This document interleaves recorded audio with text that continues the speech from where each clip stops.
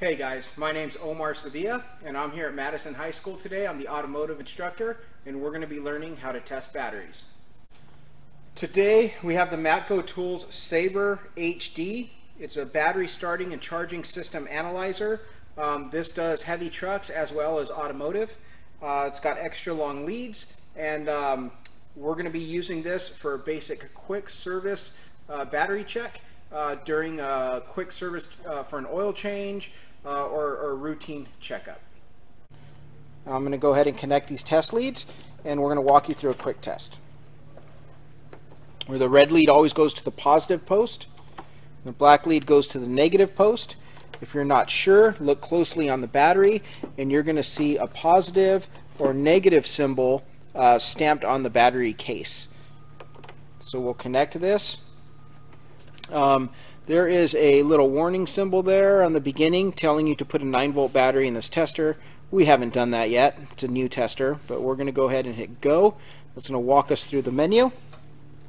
Um, we're going to jump down to quick test and hit go.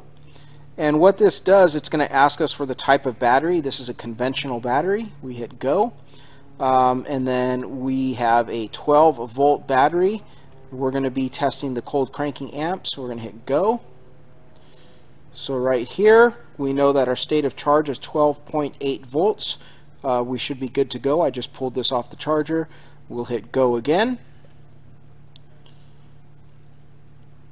And it's giving us a uh, rating of 583 cold cranking amps at 12.8 volts. So this battery would be considered good. Um, I think the rating for this battery is 450 cold cranking amps, so this battery exceeds the specifications. So we would go ahead and document this on our work order uh, and continue on with our quick service.